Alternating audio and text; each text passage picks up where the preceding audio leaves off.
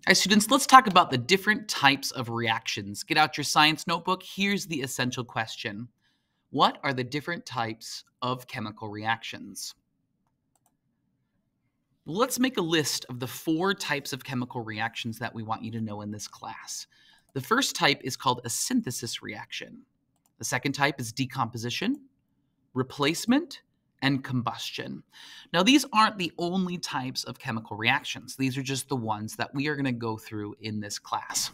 So what I'm going to do is I'm going to show you what each of these look like and give you some examples, and you might want to write both.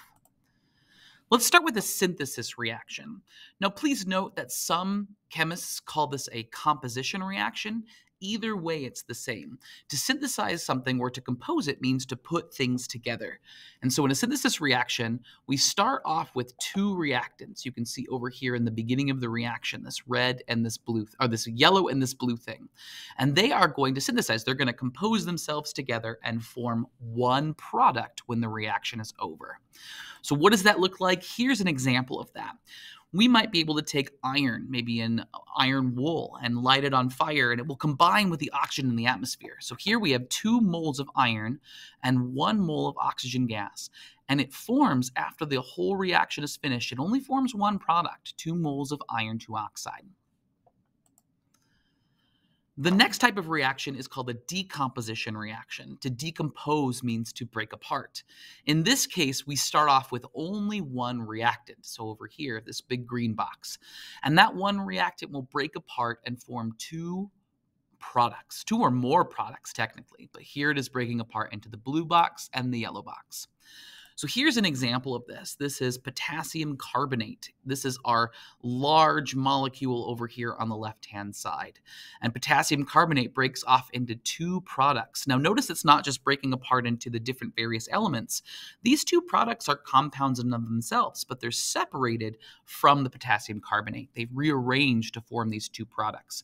So in this case, it's forming potassium oxide and carbon dioxide as two products. The next type of reaction is called the replacement reaction, and we might see replacement reactions in one or more ways. In a replacement reaction, one or more elements switch places. So take a look up here. Here we've got these two squares, the purple and the turquoise, and we have the orange circle right here. Now that orange circle is going to switch places with one of these squares over here um, to form a new product. So here we have a purple and an orange square, followed by the turquoise square that goes off by itself. This, by the way, is called a single single replacement reaction. So you might see a single element replacing a single element in a compound. And so here, sodium iodide and fluorine are an example of this. Fluorine, this element, will come and replace iodine. They're both very similar, so they can replace each other. So it's going to replace that iodine, it's becomes sodium fluoride, and, and iodine is going to go by itself.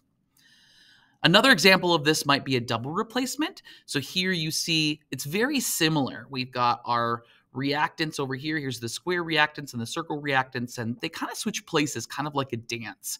And so here's an example of that. Iron, iron 2 sulfide right here and hydrochloric acid, so hydrogen chloride right here. And they basically just switch their partners. Iron goes with chlorine and hydrogen goes with sulfur.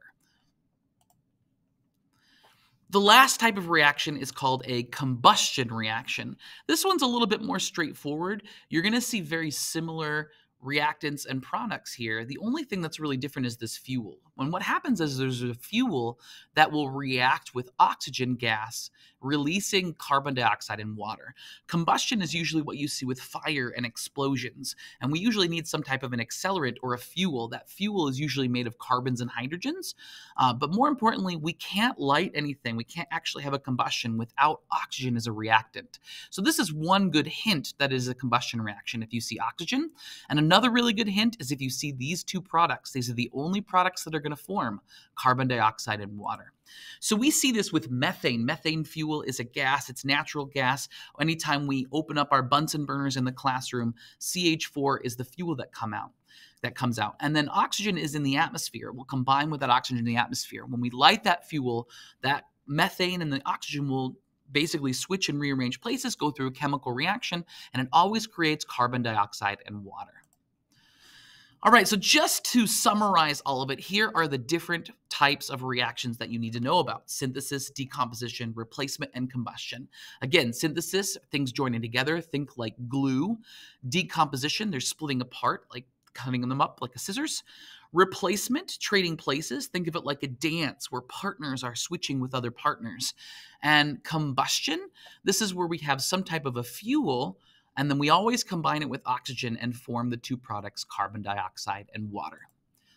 All right, test yourself. Here's where I recommend you do. Pause this video right now and see if you can figure out what each of these reactions are. Each of them are a different type. Let's see if you can classify them. Did you pause the video and try it yourself? I hope so. Well, let's see if you did it right. The first one is a decomposition reaction. Notice we only have one reactant, and then we have multiple products. That's a decomposition reaction.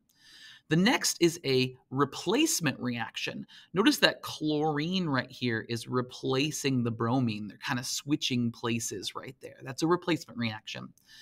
The next one is a composition, or I like to call them a synthesis, but I, I, wrote composition here. Here, notice that we start off with two things and we only end with one thing. That's a composition reaction. The next one's pretty difficult, but it is also a replacement reaction. Notice here, there's this OH and this H. They're kind of switching places. So look at this Cl goes with the Na, and then the H and the OH become H2O. This one's a really challenging one, but if you got that one, give yourself a pat on the back. And then the last one is combustion. This really big molecule right here is some type of a fuel. And then notice here it combines with oxygen. So we're going to create a combustion. And really importantly, our two products are carbon dioxide and water. All right, that's the end of the notes. Good luck.